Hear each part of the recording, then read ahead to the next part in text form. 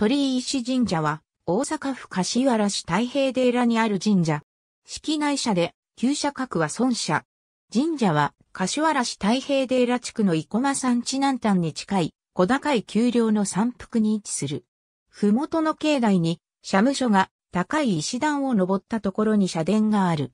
日本三大実録には、上岸9年2月に感謝に列せられたという記述があり、演技式神明帳では勝者に列している。江戸時代に入ると太平寺村の氏神として信仰され、熊野権現者と称していた。かつて、この辺りに知識寺と呼ばれる古代寺院があった。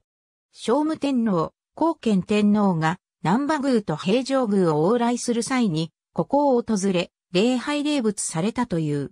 知識寺には大きい路車ナフツがあり、これを見た聖武天皇が東大時代仏像営を発願されたと言われている。その後、知識寺は室町時代頃に廃れたとされる。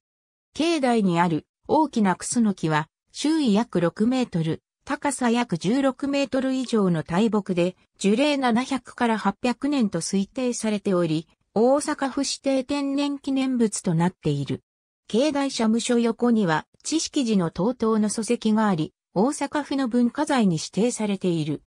礎石の柱穴の直径が122センチメートルあり、かつては神社の手洗い石として使用されていたようだが、現在は柵で囲われている。